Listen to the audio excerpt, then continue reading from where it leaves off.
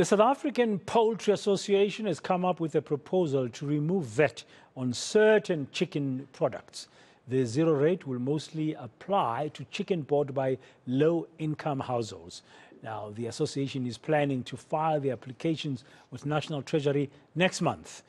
And Izaak Breitenbach from the association joins us now to discuss this further. Good morning, Izaak. Thank you for joining us on the South African morning. Before we just discuss uh, your idea uh, fully uh, uh in terms of what products you, you'll be targeting, why are you thinking it's necessary to do this? It's absolutely necessary. Um, President Ramaphosa in his State of the Nation address said that the consumer is cash strapped, and they don't have access to food products, um, and he would like to review the, the, the VAT basket of certain food products to make it more accessible for people.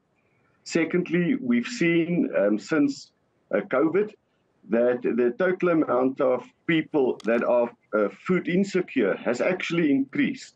So there's a very big need uh, for um, chicken to be uh, zero rated for VAT, simply because chicken is the uh, primary source of animal protein for our low income consumers um, and also fat soluble vitamins.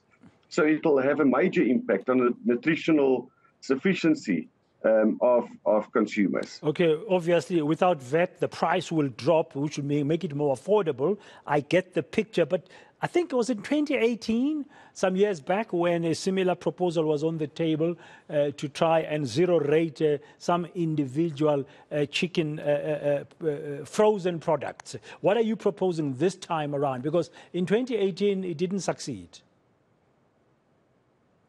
Correct. We, we did an application in 2018.